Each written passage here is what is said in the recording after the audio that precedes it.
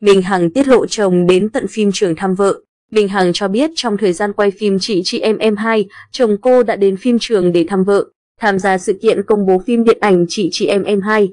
Minh Hằng đã có những chia sẻ về việc đến phim trường làm việc sau khi vừa tổ chức đám cưới ở Bà Rịa, Vũng Tàu. Minh Hằng kể, ông xã không nói gì hết.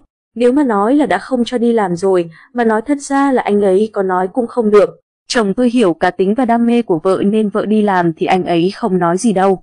Năm nay là năm đầu tiên tôi ăn Tết trong tâm thế là vợ người ta, nó đặc biệt hơn nhiều. Mặc dù Minh Hằng làm diễn viên lâu rồi nhưng đây cũng là năm đầu tiên có phim Tết. Đến đến, ngoài việc đi chơi, gặp gỡ bạn bè, người thân thì năm nay Minh Hằng còn ra dạp để kêu gọi khán giả đi xem phim. Bên cạnh đó, Minh Hằng cũng thú nhận tôi may mắn vì có người bạn đồng hành hiểu, thông cảm, chia sẻ với mình. Thật ra thì thời gian để gặp gỡ gia đình, mình có thể sắp xếp được mà. Bây giờ mình cũng đủ kinh nghiệm, trải nghiệm để cân bằng cuộc sống.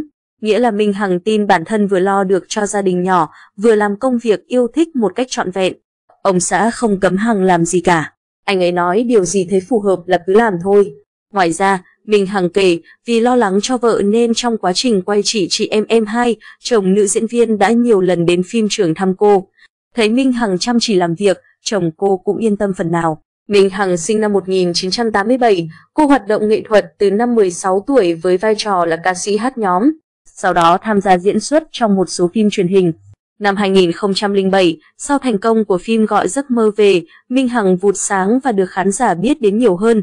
Năm 2009 và 2011, Minh Hằng được bình chọn là nữ diễn viên chính được yêu thích của HTV Awards. Tuy chưa được đào tạo diễn xuất chuyên nghiệp, nhưng bằng khả năng nhập vai tự nhiên, Minh Hằng từng bước khẳng định tên tuổi của mình. Đầu năm 2022, Minh Hằng trở lại màn ảnh rộng cùng phim điện ảnh Bẫy ngọt ngào. Với dự án này, cô đảm nhận vai trò nữ chính và nhà sản xuất.